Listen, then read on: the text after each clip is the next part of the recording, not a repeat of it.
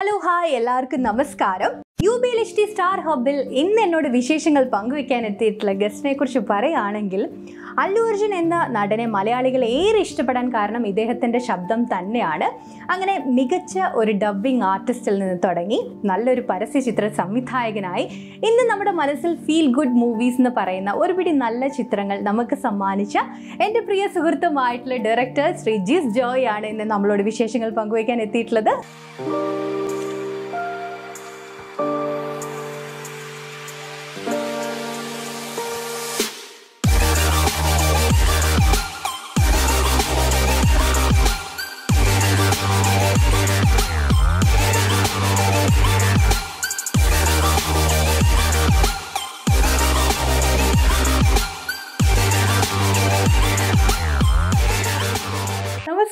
നമസ്കാരം. നമസ്കാരം വിശേഷം?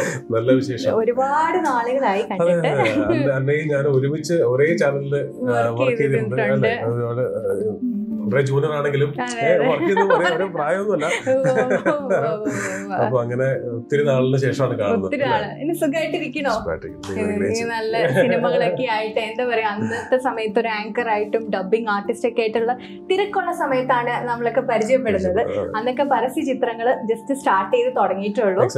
അത് കഴിഞ്ഞിട്ട് ഒരുപാട് എനിക്ക് തോന്നുന്നു മിക്ക ഏറ്റവും നല്ല ബ്രാൻഡ്സിന്റെ ഒക്കെ ആഡ്സ് ചെയ്തിട്ടുണ്ട് അല്ലേ? ഇനി ലാലേട്ടനെ ഒക്കെ വെച്ചിട്ട് അല്ല രണ്ട് ദിവസം കൊണ്ട് പത്ത് ആഡ് ഫിലിംസ് എന്നുള്ള. റെക്കോർഡൊക്കെ ചെയ്തു. ശരിക്കും അങ്ങനെയൊക്കെയുള്ള ചലഞ്ചസ് എങ്ങനെ ഏറ്റെടുക്കാൻ പറ്റുന്നു? അത് അല്ല അതിന്റെ ആ ഇനി ഇനി അങ്ങനത്തെ ഒരു പരിപാടി നടക്കുമെന്ന് എനിക്കറിയത്തില്ല. പക്ഷെ അത് അങ്ങനെ ഒരു ആ മൂഡിന് ലാൽ സാറിനും ഭയങ്കര സപ്പോർട്ടായിരുന്നു. എല്ലാവർക്കും അതൊരു ചലഞ്ച് തന്നെയായിരുന്നു. ചെയ്തു നോക്കാം വർക്ക്ഔട്ട് വർക്കൗട്ട് ആവും എന്നുള്ളത്. അത് ഭയങ്കര ബുദ്ധിമുട്ടാ എപ്പോഴും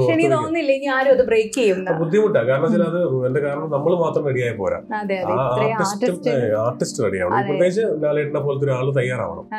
അപ്പൊ അത്. അദ്ദേഹത്തെ പറഞ്ഞ് കൺവിൻസ് ചെയ്യാന്ന് പറയുന്ന പരിപാടിയായിരുന്നു എനിക്ക് ഏറ്റവും പക്ഷെ ടഫസ്റ്റ് എന്ന് വിചാരിച്ച കാര്യം അത് വളരെ ഈസിയസ്റ്റ് ആയിരുന്നു. അദ്ദേഹത്തിന് നമ്മളത് എങ്ങനെ ചെയ്യും? നിങ്ങൾ ഇതിന് പ്രിപ്പയർ ആണോ? എന്ന് പുള്ളിക്ക് അതിന്റെ അതിന്റെ ഒരു എക്സ്പ്ലനേഷൻ അറിഞ്ഞാൽ മതിയായിരുന്നു എങ്ങനെ നിങ്ങൾ ഇത് പ്രാക്ടിക്കൽ ആക്കും. അതെന്നോട് പറഞ്ഞിട്ട് നമുക്ക് ചെയ്യാന്നുള്ളത് കൃത്യമായിട്ട് പറഞ്ഞു അദ്ദേഹം വളരെ കോടിയിലായിരുന്നു. ഒരിക്കലും ഒരു ഒരു മണിക്കൂർ പോലും കൂടുതൽ നിൽക്കാ നിൽക്കേണ്ടി വന്നില്ല. രണ്ട് ദിവസം കൊണ്ട് പ്രോപ്പറേഷൻ അതൊക്കെ കഴിഞ്ഞ് അതിൽ നിന്ന് വന്നിപ്പോ ബൈസൈക്കിൾ തീവ്സ് പിന്നെ സൺഡേ ഹോളിഡേസ് അതുപോലെ തന്നെ നമ്മുടെ വിജയ് വിജയ് സൂപ്പർ സൂപ്പറും ഈ മോഹൻകുമാർ ഫാൻസ് അങ്ങനെ നീളുന്നു. പോയത് അല്ലേ ശരിക്കും ഈ സൺഡേ ഹോളിഡേ എന്നുള്ള മൂവി പറയുവാണെങ്കിൽ ഒരു സിനിമയ്ക്കകത്ത് ഒരു സിനിമയാണ് അല്ലെ? ശരിക്കും പറഞ്ഞാൽ അതിന്റെ അകത്ത് ലാജോ സാറിനെ കാണാനായിട്ട് ശ്രീനി സാർ പോകുന്ന ഒരു സീനുണ്ട്.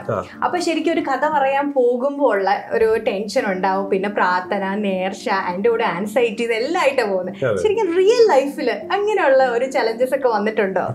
ഒത്തിരി വന്നിട്ടുണ്ട്. ശരിക്കും നേർച്ചയും പ്രാർത്ഥനയും ആൻസൈറ്റി എല്ലാം ആ, ആ, ആയിട്ടാണോ പിന്നെ ഞാൻ പിന്നെ അങ്ങനെ സിനിമയ്ക്ക് വേണ്ടി മാത്രം അങ്ങനെ പ്രാർത്ഥിക്കാറില്ല. ഇപ്പൊ ഈ പോകുന്ന ഈ പ്രൊജക്ട് നടക്കണേന്ന് പറഞ്ഞ് പ്രാർത്ഥിക്കാറില്ല. മൊത്തത്തിൽ എല്ലാം ശരിയാവണേ എന്ന് പ്രാർത്ഥിക്കുന്ന കൂട്ടത്തിൽ. ആ, പിന്നെ ഈ ഈ നടപ്പ് എനിക്കോട് സിനിമയിലെ ഇന്ന് സക്സസ് ആയി നിൽക്കുന്നവർക്കും അല്ലെങ്കിൽ സിനിമ ആസ്പയറിംഗ് ചെയ്യാൻ പോകുന്നവർക്കൊക്കെ റിലേറ്റ് ചെയ്യാൻ പറ്റുന്ന നടപ്പാണ് കഥയായിട്ട് നടക്കുന്ന ഒരുപാട് കുട്ടികൾ. അങ്ങനെയുള്ള വരുന്ന ആളുകളെ പ്രോത്സാഹിപ്പിക്കാറുണ്ടോ? എന്നെ കൊണ്ട് പറ്റുന്ന രീതിയിൽ നമ്മൾ അവർക്ക് പ്രോജക്ട്സ് ഉണ്ടാക്കി കൊടുക്കാൻ ശ്രമിക്കാറുണ്ട്. കാരണം എല്ലാ പടവും നമുക്ക് ചെയ്യാൻ പറ്റത്തില്ല. പിന്നെ എടുത്തു പറയേണ്ട കാര്യം എല്ലാരും ചോദിച്ചിട്ടുള്ള കാര്യമായിരിക്കും. ആസിഫ് അലി ജിസ് ജോയി കൂട്ടുകെട്ട്. അല്ലെ? ഉം. നിങ്ങളുടെ ഒരു കോംബോ കോമ്പിനേഷൻസ് ഉണ്ടല്ലോ.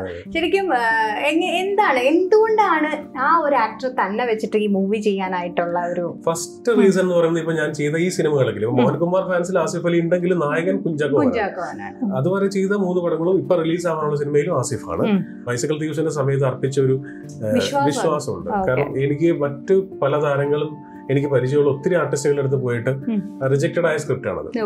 ഏറ്റവും അവസാനമാണ് ആസിഫിലേക്ക് പോകുന്നത്. അപ്പൊ അത് ആ സമയത്ത് ഇത് പറഞ്ഞ് കേട്ട് ഒറ്റയടിക്ക് കാരണം ബൈസൈക്കിൾ ദിവസിന്റെ അത്രയേറെ ട്വിസ്റ്റുകളുള്ള സിനിമ ശരിക്കും കെയിൻ ആയിട്ട് കേട്ടില്ലെങ്കിൽ അത് മനസ്സിലാവില്ല. അവൻ അത് അങ്ങനെ ഇരുന്ന് കേട്ടു എന്നും കഴിഞ്ഞ ഉടനെ നമുക്ക് ചെയ്യാന്ന് പറയുകയും ചെയ്യുന്നത് എനിക്ക് ഭയങ്കര ഒരു കോൺഫിഡൻസ് ആണ്. പക്ഷെ അങ്ങനെ പരിചയപ്പെട്ടെങ്കിലും. ഇന്ന് ഞങ്ങൾ സിനിമയ്ക്ക് അപ്പുറം ഒരു റിലേഷൻ. ആസിഫിന്റെ വൈഫാണെങ്കിലും എന്നെ ആങ്ങളാന്നാ വിളിക്കുന്നത്. അപ്പോൾ അപ്പൊ അത്രയും ഞങ്ങൾ ഒരു ഫാമിലി പോലെ ആണ്. എന്റെ വൈഫും പല പലരും അവരെ ഒന്ന് ഉവ്വ്. ആസിഫ് ആണെങ്കിൽ ഇവിടെ വന്നു കഴിഞ്ഞപ്പോ ഈ മുറിയിലാണ്. ഈ മുറിയിലുണ്ടോ? ഞങ്ങൾ രാത്രി. സിനിമ എല്ലാം കണ്ട് ഭക്ഷണം എല്ലാം കഴിച്ച് അവിടെ കിടന്നു പറഞ്ഞു അപ്പൊ ഞാൻ കട്ടിലിൽ കിടക്കാന്ന് പറഞ്ഞാൽ പോലും കിടക്കില്ല. അവിടെ സോഫയിൽ കിടന്നു തുടങ്ങും ശരി. അങ്ങനെ അത്രയും ഒരു റിലേഷൻ ആണ് ഈ മോഹൻകുമാർ ഫാൻസ് എടുത്തു കഴിഞ്ഞാൽ അതിലേക്ക് ചാക്കോച്ചനാണല്ലോ വന്നത്. എന്തുകൊണ്ടാണ് ചാക്കോച്ചനിലേക്ക്? അപ്പൊ അവിടെയും ശരിക്കും ആ ക്യാരക്ടർ എടുത്ത് നോക്കുമ്പോൾ എനിക്ക് തോന്നുന്നു ആസിഫ് ഓക്കെ ആണ്. അല്ല? ശരിക്കും. അപ്പം എന്തുകൊണ്ടാണ് ആ ചാക്കോച്ചൻ സിനിമ എന്ന് പറയുന്നത് ഓഫ് കോഴ്സ് എനിക്ക് ചാക്കോച്ചനെയും ചാക്കോച്ചന്റെ കാര്യം വെച്ചാൽ ഇപ്പൊ ഞാൻ ഈ ജീവൻ ടി വിയിൽ വർക്ക് ചെയ്യുന്ന സമയത്ത്.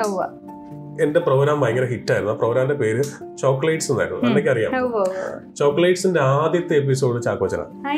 ഫസ്റ്റ് എപ്പിസോഡ് ഞാൻ തുടങ്ങും. അതായത് as a director as a director ഞാൻ ആദ്യം ക്യാമറ വെക്കുന്നത് ചാക്കോച്ചന മുഖത്താണ്. അപ്പൊ ആ ഒരു ഇഷ്ടം എനിക്ക് ചാക്കോച്ചനോട്. പിന്നെ ചാക്കോച്ചൻ ആലപ്പുഴയിൽ നിന്ന് വർഷങ്ങൾക്ക് ശേഷം കൊച്ചിയിലേക്ക് താമസം മാറി. താമസം മാറിയപ്പോൾ ചാക്കോച്ചന് കൊച്ചിയിൽ സുഹൃത്തുക്കളില്ല ആ സമയത്ത്. ആ സമയത്ത് റെഗുലർ ആയിട്ട് വീട്ടിൽ വിസിറ്റ് ചെയ്യുകയും പ്രിയ എന്ന് കുക്കിംഗ് പഠിക്കാൻ വേണ്ടി പോകുന്നത് അപ്പോൾ അപ്പൊ ഭക്ഷണം അപ്പൊ അങ്ങനത്തെ ഡെയിലി എന്നും വിസിറ്റ് ചെയ്യുന്ന എന്നും സംസാരിക്കുന്ന ഒക്കെ ചെയ്യുന്ന ഒരു പ്രത്യേകിച്ച് ചാക്കോച്ചന്റെ അച്ഛൻ മരിക്കുന്ന ദിവസമൊക്കെ ഞാൻ കൂടെ ഉണ്ട് ചാക്കോച്ചന്റെ കൂടെ പലർക്കും അത് അറിയില്ല. ഇപ്പൊ ഞാൻ ചെയ്ത സിനിമയില്ലേ ഈ സിനിമയുടെ കഥയുടെ ബീജം ചാക്കോച്ചന്റെയാണ് ചെയ്ത സിനിമയില്ലേ? റിലീസ് ആവാനുള്ള ഈ സിനിമയുടെ ബീജം എന്ന് പറയുന്നത് അതിന്റെ ബേസിക് എലമെന്റ് ചാക്കോച്ചന്റെ ചാക്കോച്ചനാണ്. അപ്പൊ ഞങ്ങൾ അങ്ങനത്തെ ഒരു റിലേഷനാണ് അങ്ങനെ ഒരു റിലേഷൻ അപ്പൊ ഇത് പറഞ്ഞപ്പോഴാണ് ഞാൻ ചോദിക്കുന്നത്. വർഷങ്ങൾക്ക് മുമ്പ് ഇതേപോലെ തന്നെയുള്ള അതായത് ഇപ്പൊ ആസിഫ് അലി ജിസ്മോൻ എന്ന് പറഞ്ഞ ജിസ്മോൻ ചേട്ടാന്ന് പണ്ട് വിളിക്കുന്ന ആളാണ് ഇപ്പൊ ജിസ് ജോയി ആണ്. അപ്പൊ അപ്പൊ ആ- അപ്പൊ ഉണ്ടായിരുന്ന ഡയറക്ടർ ആയിരുന്നു രാജസേന സാർ ജയറാമേട്ട് അവരുടെ ഒരു കോംബോ എന്ന് പറഞ്ഞാൽ നമുക്ക് എല്ലാവർക്കും ഫാമിലി പ്രേക്ഷകർക്ക് ഇഷ്ടപ്പെടുന്ന അപ്പൊ കുറെ കഴി വർഷങ്ങൾക്ക് ശേഷം രാജസേനൻ സാർ തന്നെ ഇന്റർവ്യൂസിലൊക്കെ പറഞ്ഞിട്ടുണ്ട്. ഇപ്പൊ ഒരേ ആക്ടർ വെച്ച് ഇത്രയും ഫിലിംസ് ചെയ്തത് അന്ന് വേറെ പലരെയും ഒന്ന് ട്രൈ ചെയ്യാമായിരുന്നു എന്ന് എനിക്ക് ഇപ്പൊ തോന്നുന്നുണ്ടെന്നുള്ള രീതിയിൽ പറയാറുണ്ട്. ശരിക്കും അങ്ങനെയുള്ള എന്തെങ്കിലും തോന്നലുകൾ എപ്പോഴെങ്കിലും തോന്നിയിട്ടുണ്ടോ? അത് ഇനി തോന്നാൻ സാധ്യതയുണ്ടോ? എനിക്ക് അങ്ങനെ തോന്നിയിട്ടില്ല സീരിയസ് ആയിട്ട് പറയാം. അപ്പൊ എവിടെയൊക്കെ ഈ- ചോദ്യങ്ങൾ ഒന്ന് രണ്ടോ ഒക്കെ ഒളിച്ചും തെളിച്ചൊക്കെ നമ്മൾ കേട്ടിട്ടുണ്ട്.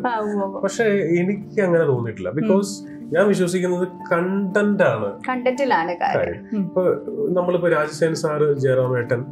അവർ അവർ നൂറല്ല ആയിരം സിനിമ ചെയ്താലും കണ്ടന്റുകൾ വ്യത്യാസമാണെങ്കിലും ഓ രാജസേനൻ ജയറാം അങ്ങോട്ട് പോകുന്നില്ല അങ്ങനെ വിചാരിക്കും.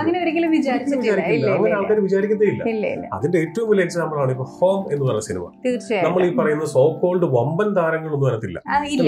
എന്നിട്ട് ആ സിനിമ നമുക്ക് എല്ലാവർക്കും ഇഷ്ടപ്പെടും. സിനിമയ്ക്ക് അത്രേ ഉള്ളൂ കണ്ടന്റ് ഫുൾ ആയിരിക്കും ആ സിനിമ. അതിന് പറ്റില്ലെങ്കിൽ നമ്മൾ ഓട്ടോമാറ്റിക്കലി ഔട്ട് ആയി പോകും. അതിപ്പോ നമ്മൾ റെഗുലർ ആയിട്ട് ഒരു താരത്തെ വെച്ച് സിനിമ ചെയ്താലും ശരി. ഈവൻ മോഹൻലാലിനെയും മമ്മൂട്ടിയെ പോലത്തെ വമ്പൻ താരങ്ങൾ ചെയ്താലും നമ്മളുടെ കയ്യിൽ കണ്ടന്റ് ഇല്ലെങ്കിൽ നമ്മൾ ഓട്ടോമാറ്റിക്കലി ഔട്ട് ആയി പോകും. അത് പ്രകൃതി നിയമമാണ്. ചേട്ടന്റെ കാര്യം പറയുവാണെങ്കിൽ ഡബിങ്ങിൽ നിന്ന് തുടങ്ങി ഇപ്പം ഗാനരചയിതാവ് കഥ തിരക്കഥ സംഭാഷണം ഡയറക്ഷൻ ഇതെല്ലാം ചെയ്യുന്നുണ്ട്. അപ്പോൾ ഇനി അടുത്തതായിട്ട് ഈ അഭിനയത്തിലും ചില സിനിമകളിലെല്ലാം മുഖം കാണിച്ചിട്ടുണ്ട്. ഇതിൽ ഏറ്റവും കൂടുതൽ എൻജോയ് ചെയ്യുന്നത് എന്ത് ചെയ്യുമ്പോഴാണ് സംവിധാനം തന്നെയാണ്. സംവിധാനം. എന്ന് വെച്ചാൽ ഒരു ആ സിനിമ എന്ന് പറയുന്ന മൊത്തം പരിപാടിയുടെ ഹെഡാണ് ക്യാപ്റ്റൻ ആണ് നമ്മളുടെ ശരികളും തെറ്റുകളും കൃത്യമായിട്ട് സിനിമയെ റിഫ്ലക്ട് ചെയ്യും. സിനിമയിൽ സിനിമയെ പൊതിഞ്ഞു നിൽക്കുന്നത് നമ്മുടെ ശരികളും തെറ്റുകളുമാണ്. അപ്പോ അതിൽ സക്സസ് ആവാൻ പറ്റുക. അതിൽ ഹിറ്റുകൾ ഉണ്ടാക്കാൻ പറ്റുക. നമ്മൾ നമ്മൾ എഴുതി ഉണ്ടാക്കിയ നമ്മളിപ്പോ ഇതുപോലത്തെ ഒരു വീട്ടിൽ. എപ്പോഴൊക്കെ എഴുതിയ കൊച്ചു കൊച്ചു തമാശകളും കൊച്ചു രസങ്ങളും ഒക്കെ വലിയ തിയേറ്ററിൽ ആൾക്കാർ നമ്മൾ ഒരിക്കലും തിരിച്ചറിയപ്പെടാതെ ഈ ആൾക്കൂട്ടത്തിൽ നമ്മളുണ്ട്. അല്ലെ? നമ്മളെ എല്ലാവരും അറിയുന്നില്ല. പക്ഷെ ഈ ആൾക്കൂട്ട് എൻജോയ് ചെയ്യുന്നതും അവർ പാട്ടുകൾ ഇഷ്ടപ്പെടുന്നതും അല്ലെങ്കിൽ ഇപ്പൊ നമ്മൾ നമ്മൾ ഫോർ എക്സാമ്പിൾ ഇപ്പൊ നമ്മൾ ദുബായിലേക്ക് ഒരു യാത്ര പോയിരിക്കട്ടെ നമ്മൾ ചിലപ്പോൾ ചൂടത്തുനിന്ന് ഓടി കാറിൽ കയറി എ സി ഇട്ട് തുറപ്പിച്ച് നമ്മൾ വണ്ടി ഇങ്ങനെ പോകുമ്പോൾ ദേ വരുന്നു നമ്മുടെ പാട്ട്. അതെ അന്നേരം കിട്ടുന്ന ഒരു പ്രത്യേക ഉണ്ട് പിന്നെ ഈ പാട്ട് എഴുതുന്ന കാര്യം പറയുന്നത് ശരിക്കും അത് അതിലും എനിക്ക് പറ്റും ആദ്യം തിരിച്ചെടുക്കുന്ന ദീപക് ശരിക്കും അത് ബൈസിൽ ദിവസത്തിന്റെ ഒരു പാട്ടിന് ട്രാക്ക് എഴുതിയതാണ്. പാട്ടുകൾ പാടാനും ഇഷ്ടമാണെന്ന് എനിക്കറിയാം. അങ്ങനെ ഇഷ്ടമായതുകൊണ്ടല്ല പാട്ടുകൾ ഈ ഗിരീഷ് പുത്തഞ്ചേരിയുടെയും അല്ലെങ്കിൽ തിരുമേനിയുടെ ഒക്കെ പാട്ടുകളോടുള്ള ഒരു പ്രത്യേകിച്ച് എന്റെ ആ മേശപ്പുറത്തേക്ക് നോക്കിയാൽ ഗിരീഷേട്ടന്റെ ഒത്തിരി പുസ്തകങ്ങളെ ബുക്കുകൾ പുസ്തക- പുസ്തകങ്ങളിൽ കൊണ്ട് ബുക്കുകളായിക്കോട്ടെ. തിരുമേനിയുടെ മകനാണെങ്കിലും ഒക്കെ തിരുമേനി ആണെങ്കിലും ഒക്കെ ആയിട്ടുള്ള. ആ ഒരു സൗഹൃദമൊക്കെ അത് അത് അതിനോടുള്ള ഇഷ്ടം കൊണ്ട് ഞാൻ പാട്ട് എഴുതുന്നതാണ്. പാട്ട് എഴുതുമ്പോൾ നമുക്കൊരു ബേസിക് താളം വേണമല്ലോ.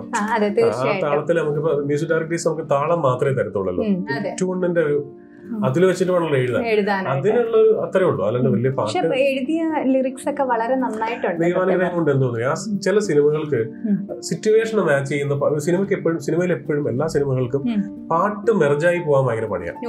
പാട്ട് ചില സിനിമകൾ നമ്മൾ കാണുമ്പോൾ ഈ പെട്ടെന്നൊരു പാട്ട് കയറി വരുമ്പോൾ മുഴച്ചു നിൽക്കത്തില്ലേ ഇത് അങ്ങനെ ഉണ്ടാവരുത്. പാട്ട് എപ്പോഴും സ്വാഭാവികമായിട്ട് വരണം.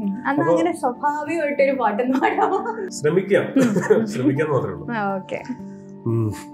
മഴപ്പാടും കുളിരായി വന്നതാരൊരു ഇവളും തെന്നലായി തണലായി ഇനിയാരൊരു ഇവളോ.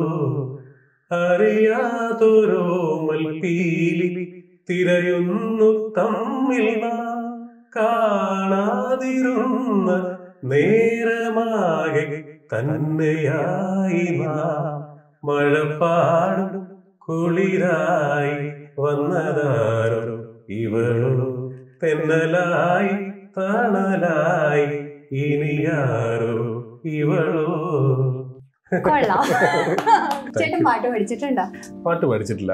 ഈ പാട്ടിനോടുള്ള ഒരു ബന്ധം മമ്മിയുടെ മമ്മി നന്നായിട്ട് പാടും. പള്ളിയിലൊക്കെ പാടുന്നതാണ്. മമ്മിയിൽ നിന്നാണ് മമ്മിയുടെ ഞാൻ ഈത്തി വളരെ നന്നായിട്ട് പാടും. അപ്പൊ അവർ രണ്ടുപേരുമാണ് ശരിക്കും പറഞ്ഞ പാട്ടല്ലേ? ശരിക്കും ഈ വീട്ടിലാർക്കെങ്കിലും ഈ കലാപരമായിട്ടുള്ള കഴിവുകൾ ഈ പാട്ടല്ലാതെ ഈ ഒരു ഡയറക്ഷൻ മൂവി അതിനോട് ഇൻട്രസ്റ്റ് ഉള്ളത് ആരെങ്കിലും ഉണ്ടായിരുന്നു അതിന് മുമ്പ്? എന്റെ ഗ്രാൻഡ് ഫാദർ നന്നായിട്ട് എഴുതുന്ന ആളായിരുന്നു.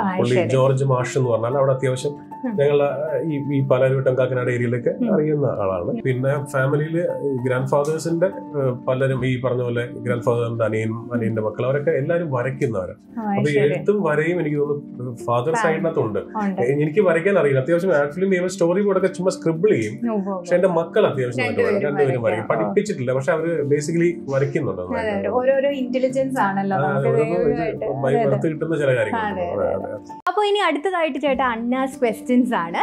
അപ്പോൾ ആദ്യത്തെ ക്വസ്റ്റ്യൻ ഒരു സൺഡേ ഹോളിഡേ കിട്ടിയാൽ അത് എങ്ങനെയായിരിക്കും ചെലവഴിക്കാം സൺഡേ വീട്ടിൽ തന്നെ ആയിരിക്കും ഫാമിലി ഫാമിലി കുറച്ചധികം നേരം കിടന്ന് ഉറങ്ങുന്ന ദിവസമായിരിക്കും സൺഡേ ഈ പറഞ്ഞ പോലെ എണീക്കാൻ വൈകും. ഉച്ചയ്ക്കും ഭക്ഷണം കഴിച്ചിട്ട് കിടന്ന് ഉറങ്ങും. പൊതുവേ സൺഡേ ലേസി ഡേ ആണ്. അത്യാവശ്യം എന്നാലും ചിലപ്പോ ഈ പറഞ്ഞ പോലെ വീട്ടിൽ പപ്പീസ് ഒക്കെ ഉണ്ട്. ഇഷ്ടമാണ്. അപ്പൊ അതിന്റെ കൂടെ പിന്നെ വൈകുന്നേരം ആകുമ്പോ ചുമ്മാ എല്ലാരും കൂടെ ഒരു വണ്ടി എടുത്ത് എനിക്ക് അത് ഏറ്റവും ഇഷ്ടമുള്ള കാര്യമാണ്. വണ്ടി എടുത്ത് എങ്ങോട്ടെങ്കിലും എങ്ങോട്ടെങ്കിലും ഡ്രൈവ് ഡ്രൈവ് ചെയ്ത്. ലൈറ്റ് നൈറ്റ് തിരിച്ചു വരിക. എന്ന് പറയുന്ന അപ്പൊ പരിപാടി അത് അതായിരിക്കും. സൺഡേസിൽ പൊതുവെ അങ്ങനെയാണ്. അങ്ങനെയാണ് നീ സൂപ്പർ ആടാന്ന് ആരോടെങ്കിലും പറഞ്ഞിട്ടുണ്ടോ? ആസിഫ് അലിയോടും പറഞ്ഞ നിമിഷ സജയനോടും പറഞ്ഞു അത് നല്ലൊരു ചോദ്യമാണ് വിജയ് സൂപ്പർ ചെയ്യുമ്പോൾ ഞാൻ അറിയാതെ സൂപ്പർ ഫാന്റാസ്റ്റിക് എക്സലന്റ് എന്നൊക്കെ പറയും. ചില ചില ടേക്സ് ഒക്കെ കഴിയുമ്പോൾ അപ്പൊ ഇത് കുറച്ച് ദിവസം കഴിഞ്ഞപ്പോൾ ഐശ്വര്യ അടുത്ത് ചോദിക്കാൻ തുടങ്ങി. സാർ എന്താ സാർ ഞാൻ ചെയ്യുമ്പോ സാർ പറയാത്ത എന്ന് പറയാതെ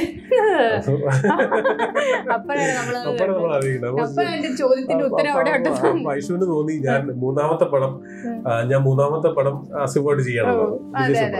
അപ്പൊ ഒരു പാർഷ്യാലിറ്റി ആണോ. കാരണം എന്നുള്ള സാറിനൊരു ആണ്. നമ്മുടെ സ്കൂളിലെ ടീച്ചേഴ്സ് ഒക്കെ ഭയങ്കര കുഴപ്പമാണ്. അപ്പൊ അത് മനോരമയുടെ അവാർഡാണെന്ന് എനിക്ക് തോന്നുന്നു. മികച്ച പെയറിനുള്ള അവാർഡ് വിജയ് സൂപ്രം പൗർണമിക്ക് കിട്ടി. മികച്ച പെയർ അപ്പൊ. ആസിഫും ഐഷും. അപ്പൊ ആ അവാർഡ് ദാന ചടങ്ങിൽ ഞാനും ഉണ്ട്. അപ്പോൾ അപ്പൊ ഇവർ അവാർഡ് വാങ്ങിക്കാൻ പേടിച്ച് കയറിയപ്പോ മികച്ച പേർ ഇവരാണ്. ഇവർ രണ്ടു വാക്ക് സംസാരിക്കുന്ന പറയുമ്പോ ആസിഫ് ബാഗ് മൈക്കെടുത്ത് പറഞ്ഞു. എന്റെ പേര് ഇവളൊന്നുമല്ല എന്റെ പേര് അയാളാണ്. അവിടെ മൂന്ന് സൂപ്പർ ഹിറ്റ്സ് എനിക്ക് സമ്മാനിച്ച ആളാണെന്ന് പറഞ്ഞു. അപ്പൊ അവൾ ഐഷു അപ്പത്തിന് മൈക്ക് വാങ്ങിച്ചു സാർ ഇത് ശരിയല്ല. സാർ ഇത് ശരിയല്ല. സെറ്റിൽ തന്നെ ഇതുപോലെ കേട്ടോ. വേറെ അന്നൊന്നും ആരും ശ്രദ്ധിച്ചു ആ സാധനം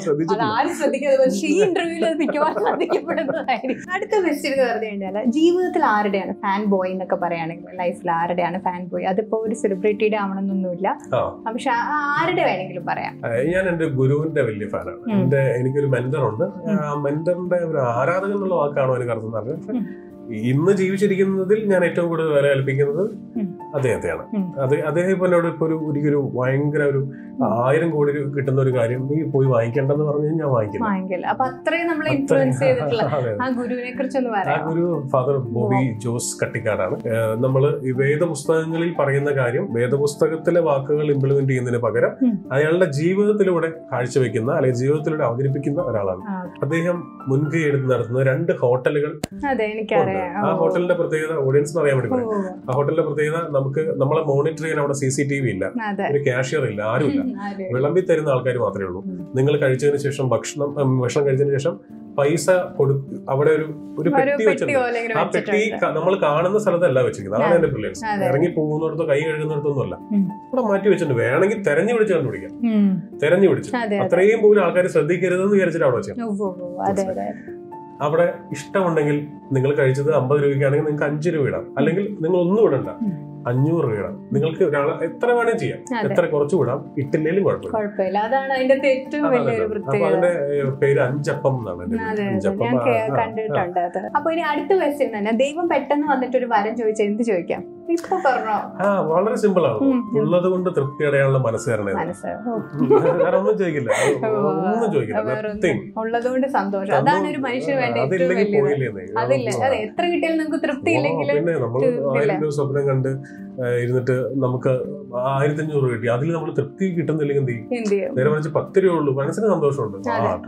നമുക്ക് ആഫ്റ്റർ ഓൾ എന്താ വേണ്ടത്? നമുക്ക് പീസ്ഫുൾ ആയിട്ട് ഇരിക്കാൻ പറ്റണം. ഭക്ഷണം കഴിക്കുമ്പോൾ വിശക്കുമ്പോൾ ഭക്ഷണം കഴിക്കാൻ പറ്റണം. അല്ലെ?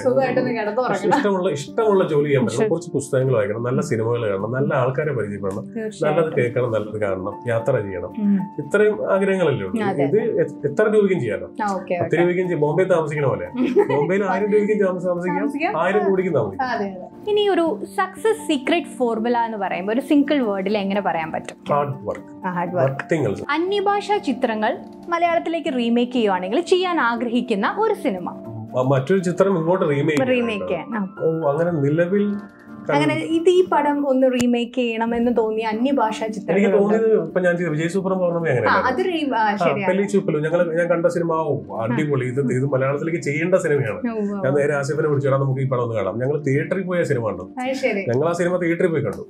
തിയേറ്ററിൽ പോയിട്ട് നമ്മൾ ഇത് നമുക്ക് ചെയ്യാം. അപ്പം ആസിഫ് എന്നോട് മലയാളത്തിലേക്ക് സൗത്ത് ഇന്ത്യയിൽ നിന്ന് റീമേക്ക് ചെയ്ത എല്ലാ പടം പൊട്ടിയിട്ടുണ്ട്. അപ്പോൾ അപ്പൊ അവൻ പറയുമ്പോൾ ഞാൻ ആലോചിക്കുന്നത് അപ്പോഴാണ് നമ്മൾ എണ്ണി എണ്ണി ഓരോ നോക്കുന്നത്. സൗത്ത് ഇന്ത്യയിൽ നിന്ന് ഇങ്ങോട്ട് റീമേക്ക് ചെയ്ത എല്ലാം പൊട്ടിയിട്ടുണ്ട് ഇവിടെ അങ്ങോട്ട്. അപ്പൊ ഒരു ടെൻഷനായി. അപ്പൊ അപ്പൊ നമ്മൾ തിരുത്തി എഴുതി. ആ, ഞാൻ പറഞ്ഞു ആസിഫ് ആ, ഇത് നമുക്കൊരു സാധ്യതയായിട്ട് എടുത്താൽ ഇതൊരു ഓപ്പർച്യൂണിറ്റി ആക്കിയല്ലോ ഒരു റിസ്ക് ഉണ്ടല്ലോ. ഇതിനകത്ത് റിസ്ക് ഉണ്ട് അങ്ങനെ എടുത്താൽ പൊട്ടും. എന്നാ പിന്നെ നമുക്ക് എടുക്കാം. എടുത്തിട്ട് ട്രൈ ചെയ്ത് നോക്കാം. നമ്മൾ പക്ഷെ അവൻ അങ്ങനെ പറഞ്ഞ ആ ഒരു വാചകത്തിൽ നിന്ന് നമ്മളൊരു കാര്യം മനസ്സിലായി. അങ്ങനെ മാറ്റിയെന്ന് നമ്മൾ തിരിച്ചറിഞ്ഞ പടങ്ങളില്ലേ. ആ പടങ്ങളുടെയൊക്കെ പ്രശ്നം നെഗറ്റീവ് മാറ്റിയില്ല മനസ്സിലായ. കഥ നടക്കുമ്പോ കഥാപാത്രങ്ങളുടെ കെറ്റപ്പും ഒക്കെ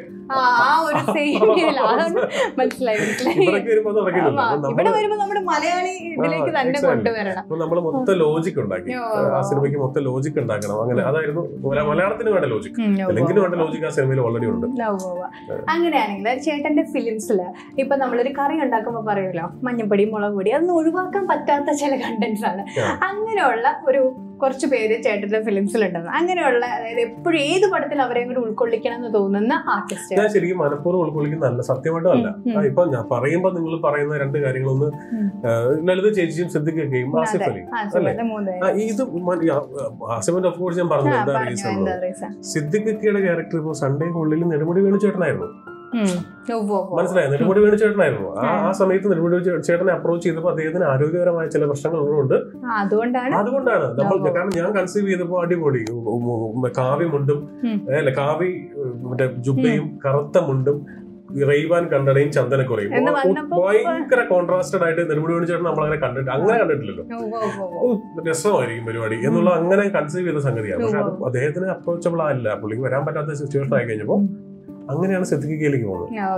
ഇപ്പൊ ലളിത ചേച്ചിയുടെ ആണെങ്കിലും ഇപ്പൊ ഇപ്പൊ ബൈസിക്കൽ തീവ്സിലെ ആണെങ്കിലും സൺഡേ ഹോളിഡേ ആണെങ്കിലും സ്പെഷ്യലി വേറെ അത് ആര് ചെയ്താലും ഇപ്പൊ ഇപ്പൊ ഏറ്റവും കൂടുതൽ എന്നെ ട്രോൾസ് ആയിട്ടും പോസിറ്റീവ് ട്രോൾസ് ആയിട്ടും ഒക്കെ വരുന്നതാണ് എതിരെ നിൽക്കുന്നവന്റെ ഉള്ളെന്ന് അറിയാൻ ശ്രമിച്ച എല്ലാവരും പാവങ്ങളാ മോനെ എന്ന് ലളിത ചേച്ചിയുടെ ഡയലോഗ് അത് അത്ര ഇമ്പാക്ട് കിട്ടണമെങ്കിൽ ആ സമയത്ത് മലയാളത്തിൽ വേറെ ആരും ഇല്ല. അതാണ് പ്രശ്നം. വേറൊരു നടിയെ നമ്മൾ കൊണ്ടുവന്നിട്ട് അല്ലെങ്കിൽ നമ്മൾ പറയണം. അങ്ങനെ ഒരു നടി ഉണ്ടായിരുന്നല്ലോ. അവർ അവർ ചെയ്ത ആ സിനിമ ഞങ്ങൾക്ക് ഇഷ്ടമായിരുന്നല്ലോ. ആ നടിയോടെ അവിടെ മൂന്ന് മാസം മുമ്പ് ഞാൻ ആശുപത്രിയിലായിരുന്നു ജിത്തെ എന്തായി സിനിമ തുടങ്ങിയോ നമുക്ക് ചെയ്യണ്ടേ? ഒരു ദിവസം രാവിലെ വിളി കോൾ വന്നിരിക്കും. ഞാൻ ആലോചിച്ച് നോക്കണം. പത്തൻപത്തഞ്ച് അറുപത് വർഷമായിട്ട് സിനിമയിൽ അഭിനയിക്കുന്ന ഒരു ലേഡിയാണ്. അവർക്ക് ഇപ്പോഴും ഇതിനോടുള്ള ഒരു ആവേശം കണ്ടോ? പൈസയോടുള്ള ആവേശം പൈസ അവർക്ക് ചോദിച്ചാൽ ഇപ്പൊ എത്രയോ പേര് അവർക്ക് കാശ് കൊടുക്കാനുണ്ടോ. അതല്ല എനിക്ക് മരിക്കുന്നവരെ അഭിനയിക്കണം അഭിനയിച്ചുകൊണ്ട് ജീവിക്കണം എന്ന് പറയുന്ന സാധനമുണ്ട്. ഈ ജനറേഷൻ കണ്ട് പഠിക്കണം. ഒരു കാരവൺ വേണ്ട ഒരു പ്രശ്നമില്ല. ഒരുപാട് കാര്യങ്ങൾ പഠിക്കണം എത്രയോ നമ്മളുടെ ജീവിതത്തിൽ എത്രയോ മുഹൂർത്തങ്ങളിൽ എന്തൊക്കെ ആയിരുന്നു അവർ? തീർച്ചയായിട്ടും. മതിലുകൾ എന്ന് പറഞ്ഞ സിനിമയിലെ വെറും ഒരു ശബ്ദം കൊണ്ട് പോലും. അതെ നമ്മുടെ മനസ്സിലാതെ. തീർച്ചയായിട്ടും. ഇതൊന്നും നമ്മൾ ചിന്തിക്കുന്നില്ല എന്നുള്ളതാണ് അല്ല ഒത്തിരി കാര്യങ്ങൾ അല്ല എഴുത ചേച്ചിയെ കുറിച്ച് പറഞ്ഞു ലളിത ചേച്ചി അഭിനയിക്കാന്ന് ഒരിക്കലും തോന്നിയിട്ടില്ല. ഏത് ക്യാരക്ടർ ആണെങ്കിലും അതാണ് ഇത് ഭയങ്കര ഒരു വ്യത്യാസം എന്ന് പറയുന്നത്. ഇതിനോട് കാണിക്കുന്ന ഒരു ഈ പ്രൊഫഷനോട് കാണിക്കുന്ന ഒരു കമ്മിറ്റ്മെന്റ് ഭയങ്കരമാണ്. ഞാൻ ചില ചില ക്വാളിറ്റീസ് പറയാം. അപ്പൊ ആരും ആദ്യം മനസ്സിൽ വന്നതെന്ന് ഇപ്പൊ ഓട്ടോമാറ്റിക് നമ്മൾ പറഞ്ഞു പോയാലും തന്നെ പെടും. എന്നാലും ഞാൻ പറയാം ഹാർഡ് വർക്കിംഗ് എന്ന് പറയുമ്പോൾ പെട്ടെന്ന് ഒരാൾ മനസ്സിലേക്ക് വരും ജയസൂര്യ ജയസൂര്യ. ആ. ജയേട്ടൻ ഹാർഡ് വർക്കിന്റെ ഒരു ഹാർഡ് വർക്ക് കൊണ്ട് മാത്രമാണ്. ഇവ രണ്ട് സ്റ്റേറ്റ് അവാർഡ് വാങ്ങിച്ചു കിട്ടി ചെറിയ കാര്യവുമല്ല. ഭയങ്കര എനിക്ക് ഭയങ്കര സന്തോഷം തോന്നി. ഒത്തിരി സന്തോഷം തോന്നിയ ഒരു കാര്യം അടുത്ത കാലത്ത്. നമ്മുടെ ലൈഫിലെ ഒരു റോൾ മോഡൽ എന്നുള്ള വ്യക്തിയായിട്ട് പറഞ്ഞു ഈവൻ ഈ ഇൻഡസ്ട്രിയിൽ പറയുവാണെങ്കിൽ ആരായിരിക്കും? ഈ ഇൻഡസ്ട്രിയിൽ സിദ്ദിഖ് സാറാണ്. ഈ ഇൻഡസ്ട്രിയിൽ എനിക്ക് തോന്നുന്നു സിദ്ദിഖ് സാറാണ്. അത് രണ്ട് മൂന്ന് കാര്യങ്ങളാണ് ഒന്ന് ആസ് എ ഹ്യൂമൻ ബീങ് എന്നുള്ളതും സെക്കൻഡ് സക്സസ് വന്നപ്പോൾ അദ്ദേഹം അതിനെ ഹാൻഡിൽ ചെയ്ത രീതി. അതാണ് എനിക്ക് ഏറ്റവും എനിക്ക് ഇഷ്ടപ്പെട്ട കാര്യം. അദ്ദേഹം വിജയിച്ചപ്പോൾ അദ്ദേഹം അദ്ദേഹത്തിന് യാതൊരു രീതിയിലുള്ള മാറ്റം ഉള്ളതായിട്ട് പുള്ളി ആരോടും കാണിക്കുന്നില്ല. നമ്മളോടും കാണിക്കുന്നില്ല പുള്ളിയുടെ വീട്ടിലും കാണിക്കുന്നില്ല സുഹൃത്തുക്കളും കാണിക്കുന്നില്ല. പുള്ളി പണ്ട് എന്തായിരുന്നു. ബോഡി ഗാർഡ് കഴിഞ്ഞ് ഷൂട്ട് കഴിഞ്ഞ് വരുമ്പോ സൽമാൻ ഖാൻ വെച്ച് ഷൂട്ട് കഴിഞ്ഞ് വരുമ്പോഴും പുള്ളി ജോലി ചെയ്തിട്ട് രീതി മാത്രമാണ്. ഇനി എനിക്ക് ചോദിക്കാനുള്ളത്. അതായത് ഇതിൽ പരം ഭാഗ്യം എന്റെ ലൈഫിൽ ഇനി എത്ര കിട്ടിയാലും ഉണ്ടാവില്ല എന്ന് ചിന്തിക്കുന്ന എന്തെങ്കിലും ഒരു ലക്ക് ഉണ്ടോ? ആ പിന്നെ അതായത് നമുക്ക് ഇനി മരിക്കുന്നത് വരെ. ഈ ഭാഗ്യത്തിനപ്പുറം അങ്ങനെ ഉണ്ടാവില്ലെന്ന് ഉറപ്പിക്കുന്ന ഒരു ഒരു ഇൻസിഡന്റ് എന്റെ ജീവിതത്തിലുണ്ട്. മദർ തെരേസ തലയിൽ കൈവച്ചത്. മദർ തെരേസ ലാസ്റ്റ് ആയിട്ട് കേരളത്തിൽ വന്നത്. ഒരു വെള്ളിയാഴ്ചയാണ് എനിക്ക് വെള്ളിയാഴ്ച ഞങ്ങൾക്ക് രണ്ടര മണിക്കൂർ ലഞ്ച് ബ്രേക്ക് ഉണ്ട് സ്കൂളിൽ ഞാൻ ഇരിക്കുന്ന സമയത്ത് എന്റെ കൂട്ടുകാരൻ നിഷാദ് ആണ് തോന്നുന്നത് നിഷാദ്. എസ് ആർ എം റോഡിലാണ് താമസിക്കുന്നത് എറണാകുളത്ത് ഇവൻ വന്നിട്ട് വളരെ കൂളായിട്ട് അവിടെ എന്ത് ചെയ്യുന്നു "ആ, നീ ഇവിടെ നിന്നില്ല? അങ്ങോട്ട് പോയില്ലേ? എന്ന് ചോദിച്ചു. പക്ഷെ അവിടെ എവിടെ? മദർ തെരേസയെ കാണാൻ പോയില്ലേ. അപ്പൊ നമ്മൾ മദർ തെരേസേനെ എവിടേക്കാണ് കൽക്കട്ടയിലേക്കോ. അവിടെ കണ്ട മദർ തെരേസ എറണാകുളത്തുണ്ട്. നീ കാണാൻ പോയില്ലേ? അവൻ അങ്ങനെ പോയി കാണാൻ പറ്റുമോ. പിന്നെന്താ കണ്ടല്ലോ അവിടെ ആൾക്കാരൊന്നും ഒരു തിരക്കൂലല്ലോ ഞാൻ ചെല്ലുമ്പോൾ ഇയാൾ ഒരു കൂടി പോയ ഒരു പതിനഞ്ച് പേര് ഇരുപത് പേര് അങ്ങേ അറ്റം. ഒരു ക്യൂ നിൽക്കുന്നുണ്ട്. അഞ്ചു മിനിറ്റ് കഴിഞ്ഞപ്പോൾ അവരെ കൊണ്ടുവന്നു വളരെ പൊക്കം കുറവാണ്. ഇങ്ങനെ പിടിച്ചത് പുറകിൽ രണ്ട് കന്യാസ്ത്രീകൾ അവരെ പിടിച്ചോണ്ടിരിക്കുന്നുണ്ട്. ഓരോരുത്തരും ഓരോരുത്തർ ഇങ്ങനെ ക്യൂവിൽ വരുമ്പോൾ തലയിൽ കൈവയ്ക്കും കവളത്ത് ഇങ്ങനെ പിടിക്കും. അപ്പൊ എന്റെ തലയിൽ ഇങ്ങനെ കൈവച്ചപ്പോ ഞാൻ അറിയാതെ കൈ പിടിച്ചു. നമ്മൾ ഈ ബണ്ണിലൊക്കെ പിടിക്കുന്ന പോലെ പൂണ്ട് പോകുന്നു പറഞ്ഞു കൈ അപ്പൊ തന്നെ അടുത്തുനിന്ന് സിസ്റ്റർ പിടിച്ചു മാറ്റി. അപ്പൊ അവരിങ്ങനെ ചിരിച്ചു തട്ടി. വണ്ടടിച്ച് അത് അതിന് ഇനി ഞാൻ പറഞ്ഞത് ചില ഭാഗ്യങ്ങൾ ഇനി ജീവിതത്തിൽ ഒരിക്കലും അങ്ങനെ ഒരു സെയിന്റ് ആണ്. ആ സെയിന്റ് നമ്മൾ തൊട്ടു എന്ന് പറയുന്നത് വല്ലാത്ത ഒരു ഭയങ്കര ഒരു ഇതാണ്. അത് ചേട്ടൻ പറയുന്നത്? ഇതൊരു ചോദിച്ചിട്ടില്ല. ഇനിയിപ്പോ വരാൻ പോകുന്ന മൂവി അപ്കമിങ് മൂവി എന്ന് പറയുന്നത് നമ്മുടെ ആസിഫ് അലി നിമിഷ പെപ്പെ ഇവരെല്ലാം വെച്ചിട്ടാണ്. അതെ. അപ്പൊ ആദ്യം തന്നെ ചേട്ടൻ പറഞ്ഞിരുന്നു ആ കഥയുടെ ബീജം എന്ന് പറയുന്നത് ചാക്കോച്ചനാണ്. എന്തുകൊണ്ടാണ് ചാക്കോച്ചൻ ഇപ്പൊ ഓൾറെഡി മോഹൻകുമാർ ഫാൻസിൽ കാസ്റ്റ് ചെയ്തു? എന്തുകൊണ്ടാ ചാക്കോച്ചനെ കാസ്റ്റ് ചെയ്യാതിരുന്നത്? അത് ആക്ച്വലി ഈ ചാക്കോച്ചൻ കഥ കഥയായിട്ട് തന്നതല്ല. ചാക്കോച്ചൻ ഞാൻ രാത്രി നടക്കാൻ പോയ ക്യൂൻസ് വാക്വേയിൽ ഉം. എറണാകുളത്ത് നടക്കാൻ വേണ്ടി പോകുമ്പോൾ രാത്രി പത്തര മണിയായി. ഒമ്പതര കഴിഞ്ഞു. ആ സമയത്ത് തിരക്കിലായിരിക്കാൻ വേണ്ടി ഞാൻ ആ സമയത്ത് പോകുന്നു മഴ പെയ്യാൻ തുടങ്ങി. മഴ പെയ്യാൻ തുടങ്ങി ഞാൻ ധൃതി പിടിച്ച് കാറിലേക്ക് നടക്കുമ്പോൾ ചാക്കോച്ചന്റെ കോൾ വന്നു. അപ്പൊ ഞാൻ കോൾ എടുത്തു. അപ്പൊ ചോദിച്ചാൽ എവിടെയാണെന്ന് ചോദിച്ചു. നമ്മൾ ക്യൂൻസ് വാക്വേയിലെന്ന് പറഞ്ഞു. ആ ഞാനും അതെ ഞാൻ പുറത്ത് സഹോദരൻ അയ്യപ്പന്റെ കൂടെ അല്ല നടക്കുവാണെന്ന് പറഞ്ഞു. ഞാൻ പറഞ്ഞു നീ നടക്കണോ? അതെ മഴയില്ലേ? മഴയുണ്ട്. അപ്പൊ ഞാൻ ചോദിച്ചാൽ ഞാൻ ഒന്ന് പിക്ക് ചെയ്യണോ ഏയ് കേട്ടാ. ഞാൻ പറഞ്ഞ വണ്ടി ഉണ്ടോ ഇല്ല ഞാൻ ഫ്ലൈറ്റിൽ നിങ്ങൾ നടന്നതാണ് ഞാൻ പറഞ്ഞ ആൾക്കാർ തിരിച്ചറിയുന്നില്ല. ഛേ മാസ്ക് ഉണ്ട് തൊപ്പിയുണ്ട് ആരും തിരിച്ചറിയുന്നില്ല. എന്ന് പറഞ്ഞു. ഞാൻ വന്ന് പിക്ക് ചെയ്യാൻ വേണ്ട വേണ്ട നീ നടന്നോ നീ എന്ത് ചെയ്യാൻ അറിയാൻ വേണ്ടി ചുമ്മാ വിളിച്ചാ. വെറുതെ വെറുതെ വിളിച്ചാണ് അങ്ങനെ എന്തോ ഒന്ന് ഒന്നോ രണ്ടോ കാര്യം മാത്രം ചോദിച്ചു ഞാൻ ഫോൺ കട്ട് ചെയ്തു. പക്ഷെ ഞാൻ ആ മഴയത്ത് പയ്യെ നടന്ന് വണ്ടിയിലേക്ക് വന്നിട്ട് ഞാൻ ഒരു കാര്യം ആലോചിച്ചു. ഈ ചാക്കോച്ചൻ പറഞ്ഞ ഇത്രയും ചാക്കോച്ചൻ പറഞ്ഞിട്ടുള്ളൂ ഇതിൽ ഇങ്ങനെ ആണെങ്കിലോ ഇതിൽ ഇങ്ങനെ ആയിരുന്നെങ്കിലോ എന്ന് പറഞ്ഞ അപ്പൊ തന്നെ നേരെ ബോബി സഞ്ജയ് വിളിച്ചു. ഇങ്ങനെ സംഭവം നടന്നു പറഞ്ഞു. അവർ ഒന്നും പറയാതെ അന്ന് ഫോൺ വെച്ചു. രണ്ടു ദിവസം കഴിഞ്ഞ് എന്നെ കൂടി സഞ്ജയ് വിളിച്ചിട്ട് പറഞ്ഞു ടീച്ചറെ ഇതിനകത്ത് ഒരു സിനിമ കിടപ്പുണ്ട്. ഞങ്ങൾ വർക്ക് ചെയ്യാം എന്ന് പറഞ്ഞ് അതിന് നേരെ ഒരു ഒരു സിനിമ കഥയാക്കി. കഥയായതിനു ശേഷമാണ് നമ്മൾ ചാക്കോച്ചനോട് പറയുന്നത്. ഇങ്ങനെ സംഭവം ഉണ്ട് ചാക്കോച്ച ചാക്കോച്ചന് അപ്പൊ അതുകൊണ്ട് തന്നെ ഈ സിനിമ ഞങ്ങൾ ഡെഡിക്കേറ്റ് ചെയ്യുന്നത് ചാക്കോച്ചനാണ്. ചാക്കോച്ചിന്റെ കുടുംബത്തിനാണ്. ഞാൻ ചെയ്തിട്ടുള്ള ബൈസിക്കിൾ തീവ്സ് ഉൾപ്പെടെയുള്ള പടങ്ങളിൽ ടോട്ടലി മാറി നിൽക്കുന്ന സിനിമയായിരിക്കും. മനസ്സിലായി? അപ്പൊ അതുകൊണ്ട് തന്നെ ആ സിനിമ വിജയിക്കാൻ വേണ്ടി ഈ വിജയിക്കണം എന്ന് വിചാരിച്ച് ഞങ്ങൾ ഒന്നും ചെയ്യുന്നില്ല. ഒരു തമാശ പോലും വരത്തില്ല. ഒരു പാട്ട് പോലും വരത്തില്ല. ഒന്നുമില്ല. ഹൺഡ്രഡ് ആൻഡ് വൺ പേഴ്സെന്റ് തന്നെയാണ്. പിന്നെ എനിക്ക് ചോദിക്കാനായിട്ടുള്ളത് അല്ലു അർജുനെ ഇത്രയധികം ഡബ് ചെയ്തിട്ടുള്ളത്. മലയാളികൾക്ക് അല്ലു അർജുൻ എന്ന് പറഞ്ഞ ചേട്ടന്റെ ശബ്ദമാണ്. ഈ എന്ന് വെച്ചായിരിക്കും അല്ലു അർജുനെ ഒക്കെ വെച്ചിട്ട് എന്നായിരിക്കും ഒരു മൂവി ചെയ്യാം? ആഗ്രഹമുണ്ട് പക്ഷെ എനിക്ക് തോന്നുന്നില്ല അത് മലയാളത്തിൽ പ്രാക്ടിക്കൽ ആവുന്നത് പൊതുവെ ഇന്റർവ്യൂ ഇന്റർവ്യൂവിൽ വരുമ്പോഴൊക്കെ ഇവർ പറയാറുണ്ട്. ഈ അല്ലു ഒക്കെ ഇന്റർവ്യൂ കണ്ടാൽ അവർ പറയും. ഞങ്ങൾ തീർച്ചയായിട്ടും നല്ലൊരു കഥയ്ക്ക് വേണ്ടി വെയിറ്റ് ചെയ്ത് കമലഹാസൻ ഇത് പറയാൻ ഒത്തിരി നാളായി. ഇവിടെ കഥ കിട്ടാതൊന്നും അല്ലല്ലോ. അതൊന്നുമല്ല. എം ടി സാർ സ്ക്രിപ്റ്റ് ചെയ്താൽ ഞാൻ വന്ന് അഭിനയിക്കാം എന്നൊക്കെ ഇവിടെ എത്രയോ നാളായിട്ട് പറയുന്നത്. എം ടി സാറിന്റെ പത്ത് പടത്തിന്റെ ഷൂട്ടിംഗ് നടക്കുന്നുണ്ട്. നെറ്റ്ഫ്ലിക്സിന് വേണ്ടി പത്ത് ഫിലിംസിന്റെ ഷൂട്ട് ഇപ്പൊ നടക്കുന്നുണ്ട്. എന്താണ് അതിനകത്തില്ലാത്തത്? പക്ഷെ അവർ വളർന്നു. അവരുടെ റെമ്യൂണറേഷൻ കൊടുത്തിട്ടൊന്നും മലയാള ഫിലിം ഇൻഡസ്ട്രിയിൽ അവരെ ഇപ്പോ ചെയ്യാൻ പറ്റില്ല. അതുകൊണ്ടാണ് ഇപ്പോൾ അല്ലു അർജുനൊക്കെ വാങ്ങിക്കുന്ന റെമ്യൂണറേഷൻ എനിക്ക് തോന്നുന്നു അമ്പത് കോടിയോ മറ്റോ അതൊക്കെ കൊടുത്തിട്ട് അപ്പൊ അമ്പത് കോടി വാങ്ങിക്കുന്ന ഒരാൾക്ക് ഇവിടെ നമ്മളൊരു പത്ത് കോടിയിലും കൊടുക്കണ്ടേ? തീർച്ചയായിട്ടും. അല്ലാതെ ഇവർ വരില്ലല്ലോ. അപ്പൊ അതുകൊണ്ട് എനിക്ക് തോന്നില്ല ഈ ഒരു പക്ഷേ ഒരുപാട് ശ്രമിച്ച് ദൈവാധീനമൊക്കെ ഉണ്ടെങ്കിൽ നല്ല കഥയൊക്കെ ഉണ്ടെങ്കിൽ തെലുങ്കിൽ ചിലപ്പോൾ നടന്നേക്കും. നടന്നേക്കും. കാരണം അന്ന് അപ്പോഴും പറയേണ്ട ഒരു കാര്യം ഒരു വർഷത്തെ ഒരു സിനിമ അവർ ചെയ്യുന്നു ഒരു സിനിമ അവർ ചെയ്യുന്നു ഒരു ഒരെണ്ണം മാക്സിമം ഉണ്ട്. പുഷ്പ എന്ന് പറഞ്ഞ ഈ സിനിമ രണ്ടു വർഷത്തിന് ശേഷം വരുന്നത്. അത്രയും ഗ്യാപ്പ് അത്രയും ഗ്യാപ്പിന് ശേഷം അത്രയും ഡയറക്ടേഴ്സ് ക്യൂ ആണ് അയാളുടെ പറയാൻ ഇപ്പൊ- അയാളുടെ വെച്ച് ആദ്യത്തെ ഇപ്പൊ ആര്യ എന്ന് പറഞ്ഞ സിനിമ ചെയ്ത സുകുമാർ സാറാണ് പുഷ്പ ചെയ്യുന്നത്. അതായത് പതിമൂന്ന് വർഷത്തിന് ശേഷമാണ് അദ്ദേഹത്തിന് അല്ലു അർജുന്റെ ഡേറ്റ് ഇടുന്നത്. So it's very. പിന്നെ നടക്കാം സിനിമയാണോന്നും അപ്പൊ ഒരു കാര്യം ചോദിച്ചോട്ടെ? അപ്പൊ ഇത് പറയുമ്പോൾ നമ്മുടെ ലാലേട്ടിനെ കുറിച്ച് പറയും. ലാലേട്ടിനെ വെച്ചിട്ട് ഞാൻ ആദ്യം തന്നെ പറഞ്ഞു. രണ്ട് ദിവസം കൊണ്ട് പത്ത് ആഡ്സ് എടുക്കാന്ന് പറഞ്ഞ നിസ്സാരം അപ്പൊ എന്തായാലും ലാലേട്ടിനെ എന്തുകൊണ്ട് അപ്രോച്ച് ചെയ്യാത്ത ലാലേട്ടനെ വെച്ചിട്ട് അപ്രോച്ച് ചെയ്തിട്ടുണ്ട്. അപ്രോച്ച് ചെയ്തിട്ടുണ്ട്. അപ്പൊ അത് നമ്മളൊരു കഥയുമായിട്ട് അപ്രോച്ച് ചെയ്തപ്പോൾ ആ കഥ ഭയങ്കര ബ്രഹ്മാണ്ട സിനിമയാണ്. അപ്പോൾ ലാൽസാർ നമ്മളോട് പറഞ്ഞത് വെച്ചാൽ നീ ഒരു ചെറിയ സിനിമ ആലോചിക്കുക അതായത് ചെറിയ സിനിമ. ഒരുപാട് എന്നാലാണ് ഇത് എല്ലാവർക്കും പ്രൊഡ്യൂസേഴ്സിനും ഒക്കെ ഒരു ഒരു കാരണം എന്റെ തന്നെ വളരെ അടുത്ത സുഹൃത്താണ് എന്റെ പ്രൊഡ്യൂസർ ലാൽ സാറിന്റെ ഏറ്റവും അടുത്ത സുഹൃത്താണ്. അപ്പോൾ അദ്ദേഹത്തിന് ലാഭം ഉണ്ടാവണമല്ലോ ബിസിനസ് നടക്കണം. ലാൽ. ലാൽസാർ വളരെ ക്ലീൻ ആയിട്ട് അത് പറഞ്ഞു. ഇത്രയും വലുത് വേണ്ട ഉം. ചെറുതാലോചിക്കും നമുക്ക് ചെയ്യാം. അങ്ങനെ ഒരു സാധ്യത അവിടെ ഉണ്ട് ഉം.